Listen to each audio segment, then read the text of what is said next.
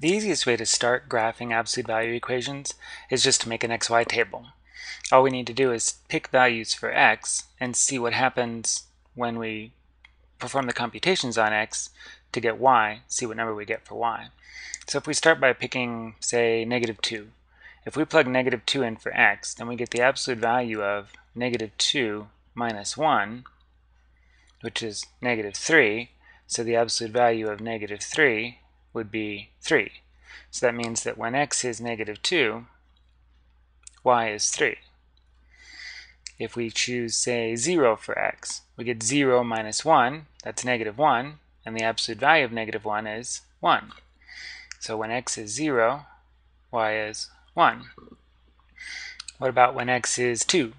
If x is 2, we get 2 minus 1, that's 1, and the absolute value of 1 is 1. So when x is positive 2, y is 1 again.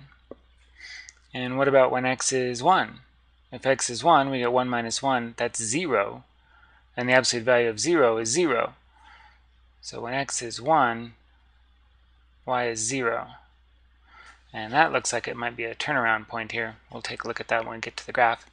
And let's try one more. Let's try um, x is, well, I don't know, 3. If x is 3, we get 3 minus 1, that's 2, and the absolute value of 2 is 2. So when x is 3, y is 2. Now if we take these points and we graph them, ta-da, here's a bunch of points graphed, we can see that the points here form sort of a V shape. Here's that one point we found where x is 1 and y is 0. Let me see if I can get a better color for being on white.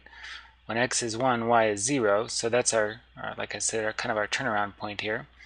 When x was 0, no left to right, y was 1. And when x was 2, y was also 1. So these absolute value equations, when they graph, form this characteristic V shape with one point that represents the vertex or the turnaround point, and then straight lines on either side.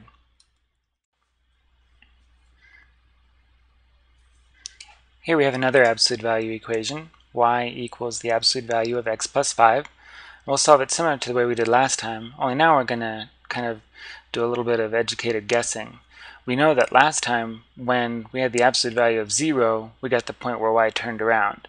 So let's see if we can find that first. Obviously if we need this to be 0 inside, and we're adding 5 to something, then we should make x negative 5. Then we'd have the absolute value of negative 5 plus 5, or the absolute value of 0, which is 0. So when x is negative 5, y is 0. Then let's pick one number that's a little smaller than that. Let's say negative 7. When x is negative 7, we get negative 7 plus 5, that's negative 2, and the absolute value of negative 2 is 2. And then one that's a little bigger than negative 5, let's say negative 3. When x is negative 3, we get negative 3 plus 5, that's also 2. So now we should have our turnaround point and one number on either side. So let's graph those things. Yep, sure enough. So here we have x is negative 5 and y is 0 and that was our turnaround point. And then x is, here's an example where x was negative 8 so y was 3 and here's one when x is negative 2 y is also 3 and our two points were negative 7 and 2 and negative 3 and 2. So we can see that it forms again that characteristic V shape, so we have it correct.